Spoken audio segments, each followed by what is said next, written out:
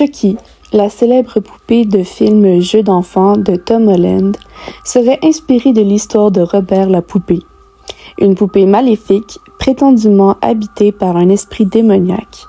Cette poupée est aujourd'hui exposée dans un musée, enfermée dans une cage de verre, ce qui ne l'empêcherait pas de continuer ses méfaits. Je vous propose de découvrir l'incroyable histoire de Robert la poupée et de son propriétaire, Robert Eugène Otto. Eugène Otto et Robert la poupée. En 1896, Thomas Otto et sa femme s'installèrent dans leur nouvelle maison à l'angle des rues Eaton et Simonton à Key West, en Floride. Monsieur Otto exerçait la profession de médecin. La famille était aisée et leur vie était des plus plaisantes, mais la rumeur rapportait qu'ils se montraient particulièrement sévères envers leurs domestiques et qu'ils les maltraitaient. Parmi leurs serviteurs se trouvait une jeune femme d'origine haïtienne qu'il avait embauchée pour s'occuper de leur jeune fils, Robert Eugène. D'après la légende, un jour de l'année 1906, Madame Otto la vit s'adonner à des rituels de magie noire dans l'arrière-cour de sa maison et scandalisée, elle décida de la congédier sur le champ. Avant de s'en aller, la femme alla trouver le jeune Robert qui était alors âgé de six ans et elle lui offrit une grande poupée d'un mètre de haut en cadeau d'adieu. L'objet était des plus surprenants et nulle part ailleurs il n'en existait de pareil. Son corps était constitué d'un tissu épais rempli de paille. Deux boutons noirs remplaçaient ses yeux et ses cheveux de laine étaient si doux qu'ils semblaient ceux d'un enfant. Pensant que la jeune femme s'était attachée à son fils, et malgré la piètre opinion qu'elle avait d'elle, Madame Otto donna son accord pour que le jeune garçon accepte la poupée, mais Robert s'enticha tellement de son nouveau jouet qu'ils devinrent inséparables. Il l'emmenait partout avec lui, de jour comme de nuit. Tous les soirs, il la glissait dans son lit, dormant avec elle. Et quand venait l'heure de passer à table, il l'asseyait tout près de lui sur une petite chaise spécialement conçue à cette intention et la nourrissait discrètement à l'insu de ses parents. Cette lubie amusait Madame et Monsieur Otto, qui n'en voyaient rien d'autre que l'attachement d'un enfant pour son nouveau jouet. Mais certains événements allaient les pousser à réviser leur jugement. Un jour, alors que sa mère venait de le sermonner pour une raison quelconque, Robert déclara que dorénavant, il voulait être appelé Eugène, qui était son second prénom, car il expliqua-t-il, Robert était celui de sa poupée. À une autre occasion, alors que Madame Otto se trouvait près de sa chambre, elle surprit une étrange conversation entre son fils et la poupée. Le petit garçon s'adressa à Robert de sa voix enfantine habituelle, et une autre voix, bien plus grave, lui répondait. Bien évidemment, la mère supposa tout d'abord que l'enfant jouait, transformant sa voix et se répondant à lui-même. Mais alors qu'elle continua à l'écouter, un malaise l'envahit qui finit par ne plus la quitter. D'une surprenante manière, la tonalité de la voix semblait émaner de la poupée, et elle ressemblait en tout point à celle d'un adulte. Puis brusquement, le comportement du petit garçon commença à changer. Parfois il se montrait agité, et quand sa mère faisait irruption dans sa chambre, elle le retrouvait blotti dans un coin de la pièce, assis à même le sol, fixant d'un air étrange la grande poupée de chiffon qui trônait sur une chaise ou sur son lit. Souvent, il était en proie à d'effrayants cauchemars, et il se réveillait en hurlant, terrifié. Un soir, un effroyable vacarme s'éleva de la chambre d'Eugène, et aussitôt, ses parents s'y précipitèrent, affolés. La pièce avait été ravagée, les meubles gissaient sur le sol, renversés, et assis sur son lit, l'enfant fixait la poupée d'un air épouvanté. C'est Robert! Ça n'est pas moi! C'est Robert! s'écria-t-il en les apercevant.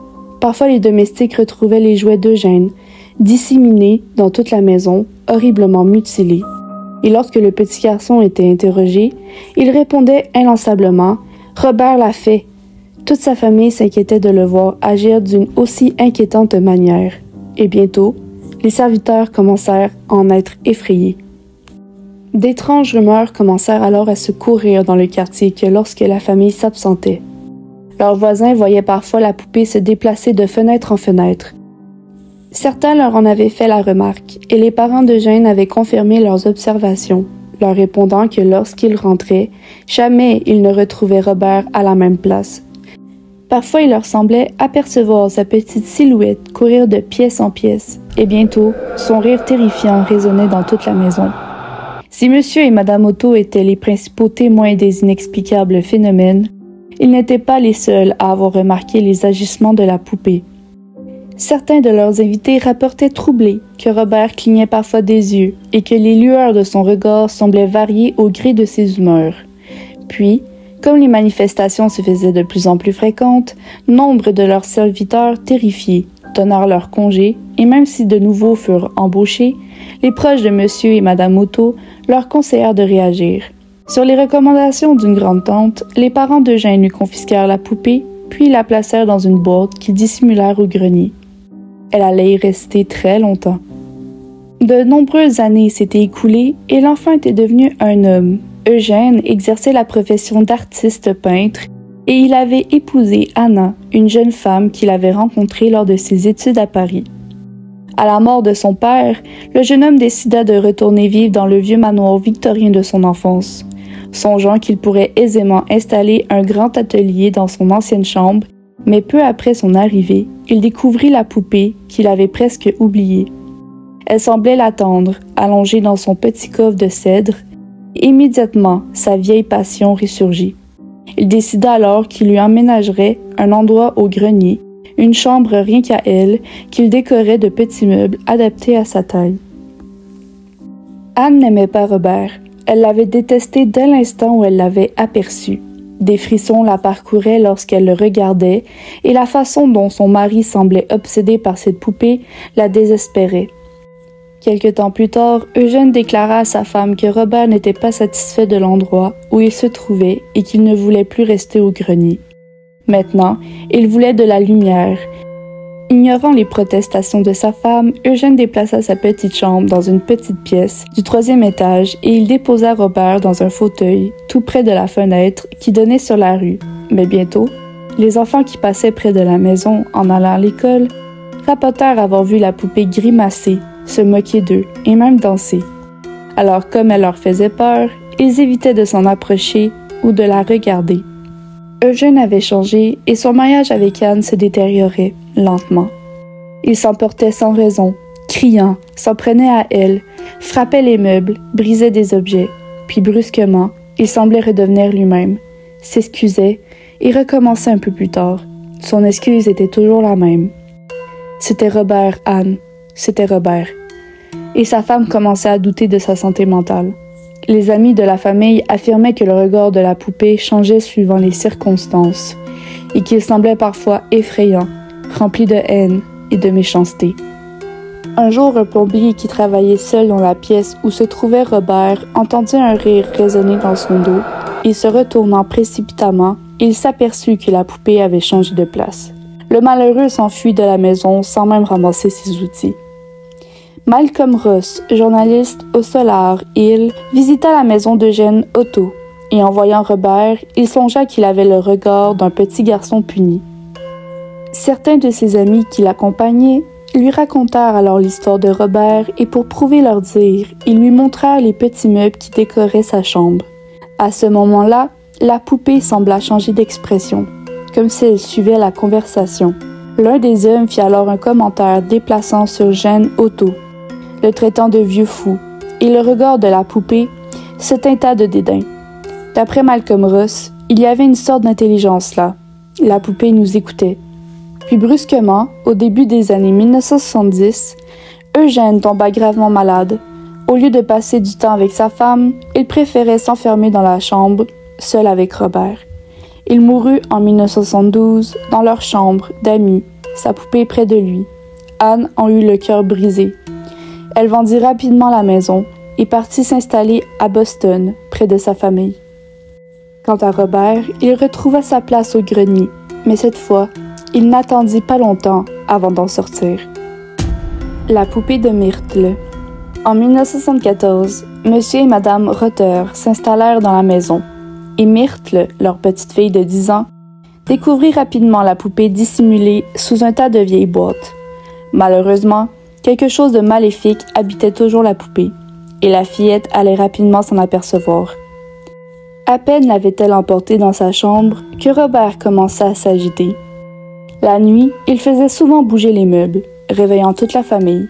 Un soir, Myrtle se mit à hurler et elle expliqua à ses parents que la poupée avait traversé sa chambre en courant et qu'elle avait sauté sur son lit. Six ans plus tard, Monsieur et Madame Rutter déménagèrent rue Von Pfister et pour une étrange raison, peut-être s'y était-elle attachée, Myrtle emporta sa poupée avec elle.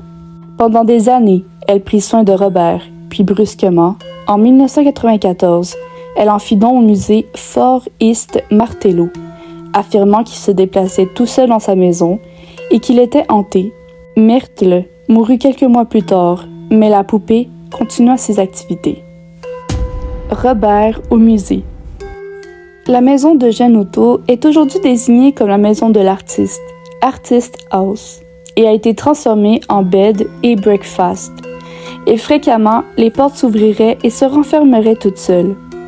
Le fantôme d'une femme, probablement celui de Anne, entrait les lieux, et elle se montrerait souvent dans les escaliers menant au grenier ou dans la chambre où est mort Eugène. Prenant alors la forme d'une orbe bleu-vert, la rumeur prétend qu'elle protège la maison de l'esprit malveillant de Robert. La poupée est toujours exposée dans une vitrine de verre du Fort East Martello Museum, où les visiteurs peuvent contempler son sinistre visage. Malheureusement, comme en témoignent les nombreuses observations rapportées par des curieux ou des employés du musée, Robert ne semble pas avoir renoncé à ses agissements maléfiques et s'acharnerait particulièrement sur ceux qui lui manquent de respect. Certains des employés prétendent que parfois le soir, avant de fermer, il laissait des bonbons à la menthe dans la vitrine de Robert et que le lendemain matin, il ne retrouvait que des emballages vides à ses pieds. Bien évidemment, avoir peur d'une simple poupée peut sembler ridicule et de nombreuses personnes se rient de la légende, mais leur comportement change quand le regard noir de Robert se tourne vers eux. Parfois, ceux qui essaient de prendre des photos de la poupée n'y parviennent pas. Leur appareil ne s'allume pas, même s'ils changent de batterie, mais dès qu'ils quittent le musée, alors tout fonctionne à nouveau, sans problème. La légende raconte qu'avant de prendre une photo de Robert, il faut lui en demander poliment l'autorisation. S'il y consent, alors il inclinerait la tête sur le côté pour vous donner sa permission. Mais si jamais il ne bouge pas, ne prenez pas de photo. Une malédiction s'abattrait sur vous et sur tous ceux qui vous accompagnent au musée. Les murs de la salle où trône la poupée sont d'ailleurs recouverts par les lettres de personnes qui la supplient de leur pardonner leur comportement irrespectueux. Donc voilà, c'était tout pour cette vidéo YouTube. Donc Robert la poupée attend votre visite au musée, dans son costume d'époque serrant son petit lion en peluche contre lui. Mais si jamais vous passez le voir, surtout, n'oubliez pas, ne vous moquez jamais de lui. Et n'oubliez pas surtout de vous abonner, de liker et de partager la vidéo. Et si vous voulez commenter, ça va me faire un plaisir de lire vos commentaires. Donc on se voit pour une prochaine vidéo YouTube. Bye bye.